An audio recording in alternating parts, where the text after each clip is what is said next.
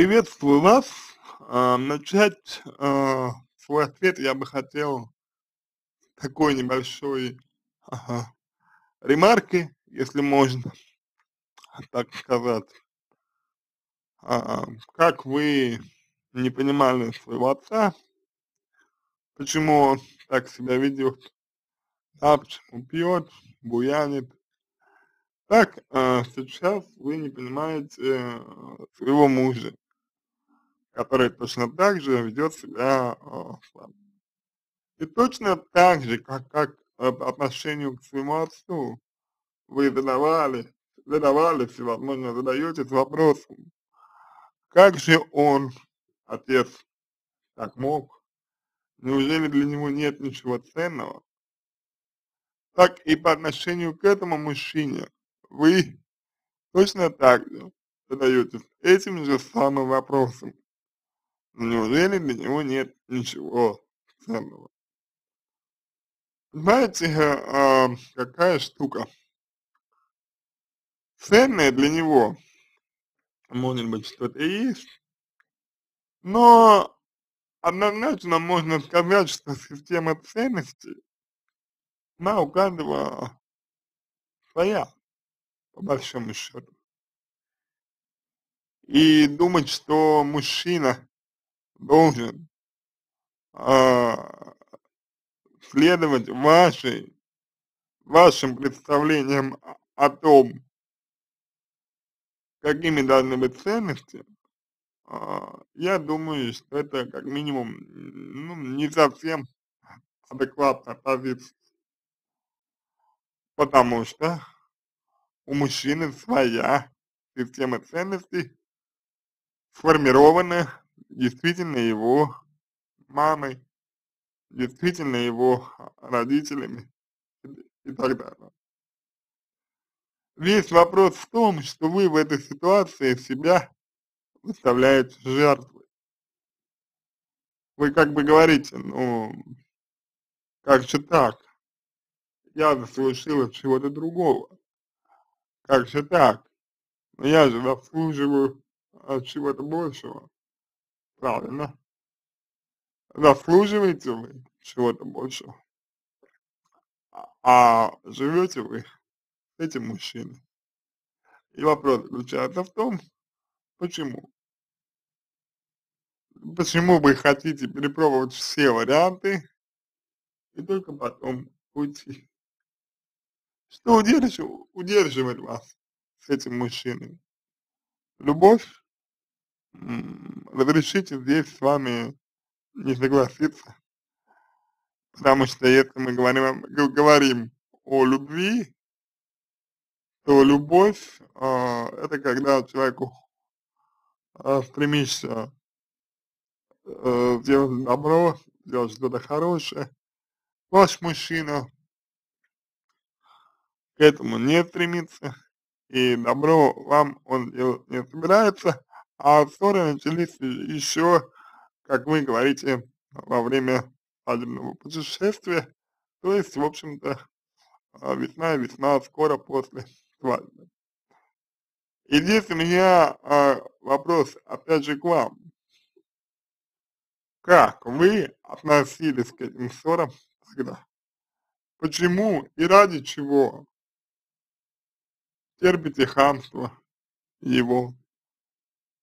Почему и ради чего а, терпите его отношения? А, ну вот, такое негативное. Зачем? Для чего? С какой целью? Понимаете? Чего, чего, может быть, вы ждете, чего, может быть, вам хочется? Важный, важный вопрос. Очень важный. Мужчина, конечно, в теории может измениться. Он может измениться. Но для этого нужно, чтобы у него был стимул. А у вашего мужчины стимула нет. Почему? Нет стимула, как вы думаете? А стимула у него нет потому, что вы ему этот стимул не даете. Он знает, что, что бы он ни делал, как бы он себя ни вел, вы все равно, скорее всего, его простите. Вы все равно, скорее всего, его, а, как бы, ну, отнесетесь к нему, к нему со снисхождением. А мужчина без мотива делать на, сам, на самом деле ничего не будет. И этот момент также нужно как следует понимать. Чем лучше вы будете этот момент для себя понимать, тем лучше будет для вас. Потому что нельзя, вы поймите, нельзя ожидать от человека какой-то модели поведения. Нельзя ожидать от человека того, что он будет вести себя когда так, как вы, как вы себе этого представ, это представляете. Это приводит только к ожиданиям и обиде. Смотрите, вы пишете, в браке более года отношения с мужем тяжелые. Началось после свадьбы, уже в свадебном путешествии, его, как, его хамство, недовольство любыми моими действиями. Почему вы позволили этому происходить? Или даже не так. Почему вы позволили этому длиться? Вот правильный вопрос, который нужно вам задать. Почему вы позволили этому длиться э, в вашем отношении? Для чего? Зачем? С какой, с какой целью? Если думали, что это поменяется, это изменится, то почему вы так думали? Что, заста э, что заста заставляло вас так думать? Понимаете? Но определенно же есть какие-то а, мотивы, по которым вы терпели такое его поведение. Более чем уверен, что есть. Нужно подумать только какие. Далее, значит, надо хамствов таки, э, и таких дурных слов я не слышала от него. А, значит, мата, хамства и таких дурных слов я от него не слышала. Он человек одинокий по натуре, нет друзей, долго жил один, с родителями, видимо, сложные были отношения, когда никогда ничего не рассказывает, а, но зная а, властную маму и более мягкого папу, я предполагаю, что мать задавила ребенка, если, а, значит, они звонят сами, он отвечает, но никогда не самостоятельно не звонит. То, что вы написали, все. Это э, здорово. Вопрос в том, а, зачем вы это все написали? для чего вы это все написали. То есть, ну, вот он такой человек, допустим. Ну, он действительно такой своеобразный человек. Это да, это правда. Вопрос заключается в том, принимаете ли вы его таким, какой он есть, или нет? Для чего вы рассказываете нам, э, что его задавила там мама, что э, там и так далее, вот, это, вот эта вся история? Зачем?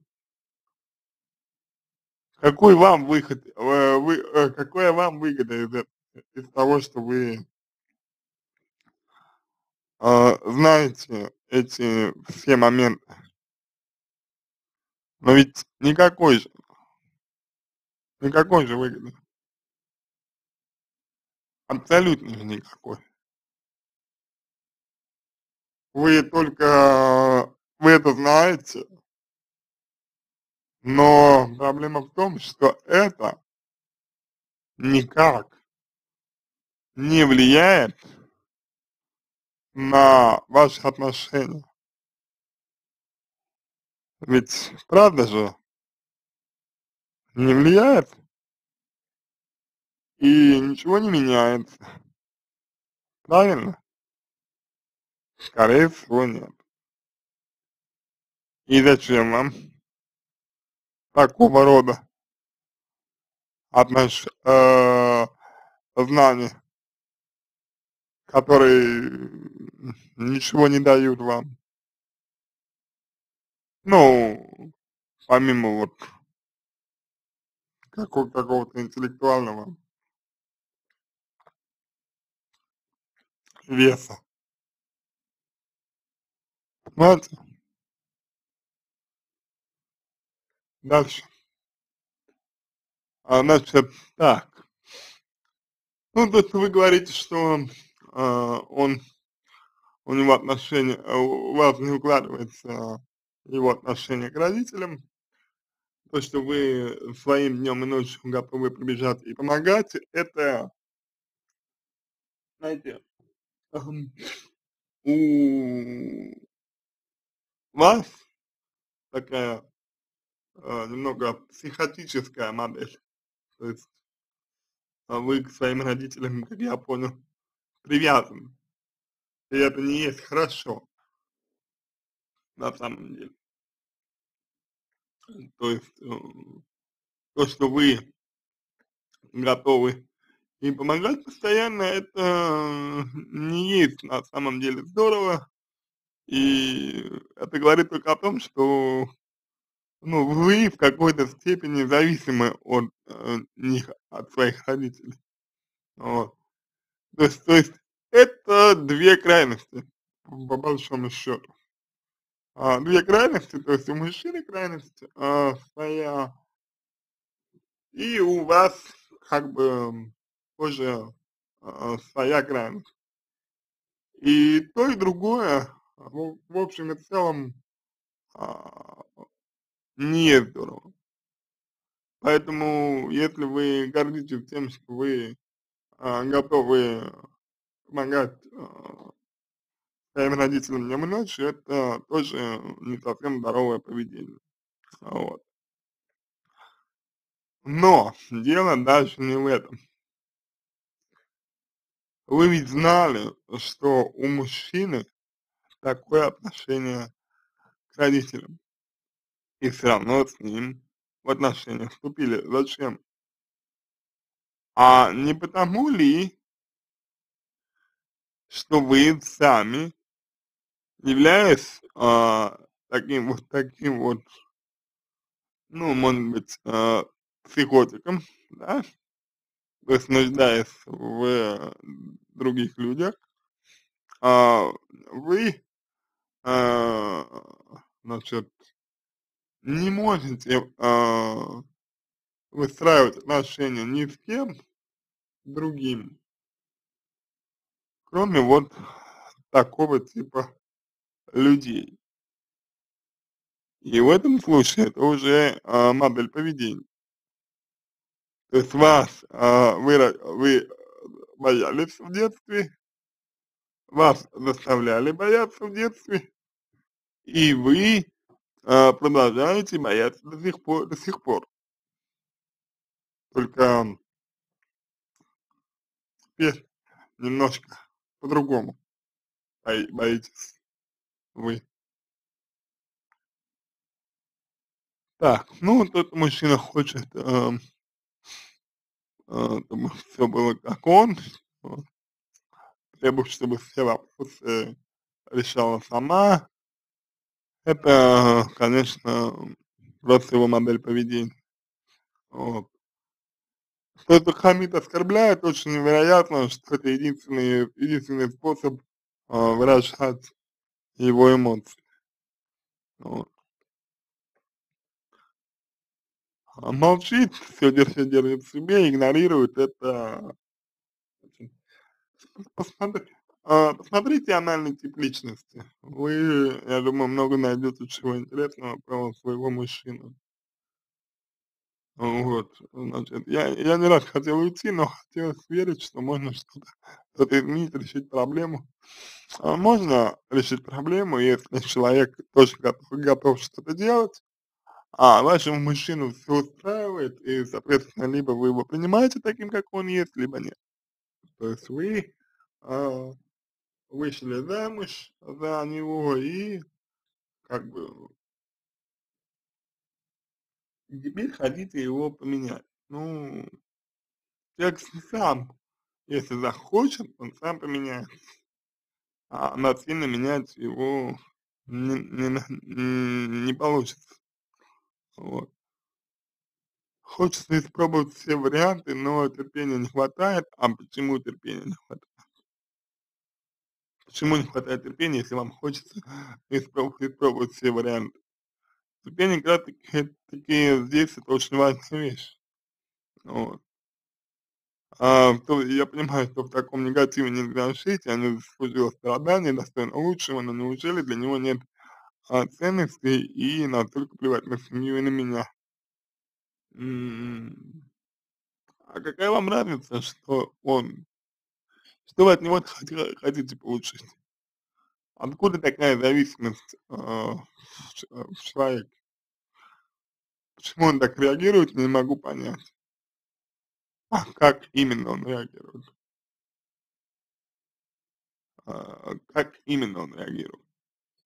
Он реагирует так, как его, как его научили, по большому счету. Он реагирует только так, как, его научили. И все. Как бы. Вот как научили, он так и реагирует, и это нормально. Он не сможет э, реагировать э, по-другому. Пока, пока его не научат. А для этого как бы ну, для этого нужно его желание, а желания у него нет. А, значит, от мамы вы привыкли подчиняться, от мамы вы привыкли быть жертвой и не, не нести ответственность за себя. Вот. То есть вы не несете ответственности за свою жизнь, а требуете этого от других людей. Вот именно от мамы вы переняли модель поведения, а, значит, жертва. И до сих пор вы жертва. Бегаете, помогаете своим родителям, пытаетесь решить проблемы взрослого человека, вместо того, чтобы решать свои проблемы. Это все бег от ответственности и от того, что в душе вы себя не принимаете, а, не любите себя. Я не знаю, на самом деле, как вы работали с, э, с психологами, э, и какие психологические видео вы смотрите, а, я вам рекомендую не заниматься этими вещами, а проконсультироваться у психолога, хотя бы на нашем ресурсе. И во всем разобраться а, как следует. Тогда вам будет а, понятнее, как, как обстоят дела. И так тогда вы сможете уже лучше понимать, в чем именно ваша проблема. Это не проблема мужчины. Это ваша проблема. Потому что здоровая личность, а, гармоничная личность Если видит, что человек ам, не соответствует ей, если человек не дает то, что нужно, если человек не, ну, не подходит, если ведет себя неприемлемо, то он заявляет о том, о том, что ему не нравится, и если человек не реагирует, он просто отдаляется. Вы же снова и снова бьетесь в одну и ту же дверь. Вопрос заключается в том, для чего, почему, что заставляет вас это делать. И это, ваша, это ваша проблема. И с ней надо разбираться. Влияет ли родительский сценарий? Да, влияет. Но не, не с родительского сценария я хочу начать, а с вашей жертвенной позиции. С детской позиции. Неужели у него э, такие ценности, ему настолько плевать на, на, на меня и на семью? Какая разница? Вы, вам самой на себя не плевать, если то и другим не будет плевать, а вам, на, вам самой на себя плевать, раз вы терпите такое отношение, значит и другим людям тоже будет плевать. И это нормально. Понимаете, какая э, цепочка? Поэтому начинать нужно с личных границ, личного пространства, с э, адекватного, ценностного отношения к себе и с принятия себя.